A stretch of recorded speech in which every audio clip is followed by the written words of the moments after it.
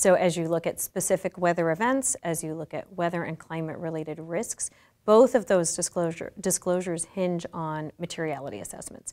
And the GC almost needs to insert themselves into a sustainability regime and ESG and investor relations folks who have their own kind of uh, stakeholders that they're sort of reporting to and make sure the SEC disclosure piece gets um, considered in the process.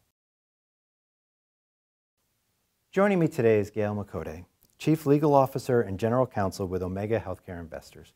Gail, thanks so much for joining us today. Thank you. Now, how are REIT GCs managing the risks and rewards of new AI powered products and services?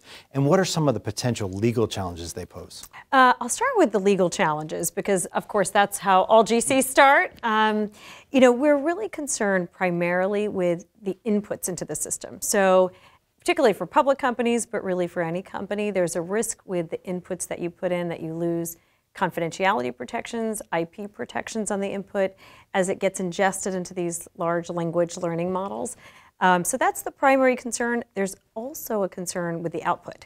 So with respect to the output, you need to check for accuracy. They're not they're notorious for being like the uber eager intern. Uh, that's what the AI model really is. It's this intern that pulls all this data for you but doesn't necessarily think about it or double check. There are accuracy issues related to the time frame the language model was learning on. So ChatGPT-4, for example, learns up to 2019, and after that, it's kind of, you know, who knows. Um, and then also with respect to the accuracy, if you're using the output in a customer facing way, um, there's sort of the converse risk with the inputs of uh, IP infringement. So you could be infringing on another party's IP, which is part of why the New York Times has sued OpenAI. And so there are a number of risks on the output and input side. Um, but I, that said, that's mostly with regard to public generative AI. So a lot of GCs are starting to look at private, you know, enterprise versions of AI tools. A very popular one right now is Microsoft Copilot, which was recently launched and presents potentially some of these issues. Um, I think a lot of GCs are starting to learn about it. We're being sort of dragged along. And there are business use cases. You know, if you can protect your IP, if you can protect your confidential information, you might be able to use it, you know, for internal purposes. Um, so that's a business use case. Uh, and REIT GCs are looking at lease abstractions, routine contract reviews, and DA reviews as well. And another common theme here at this year's REITwise is cyber risk.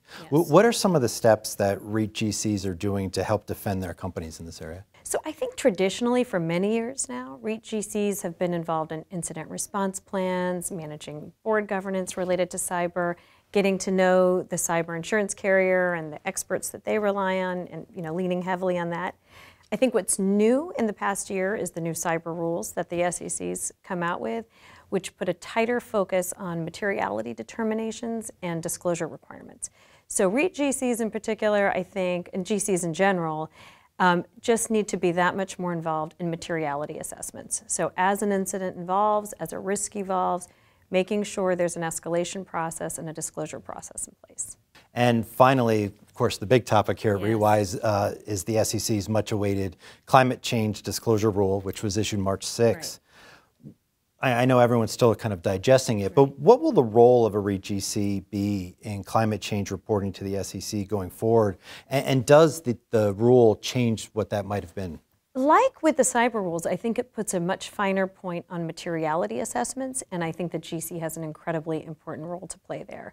So as you look at specific weather events, as you look at weather and climate related risks, both of those disclosure, disclosures hinge on materiality assessments. And the GC almost needs to insert themselves into a sustainability regime and ESG and investor relations folks who have their own kind of uh, stakeholders that they're sort of reporting to and make sure the SEC disclosure piece gets um, considered in the process.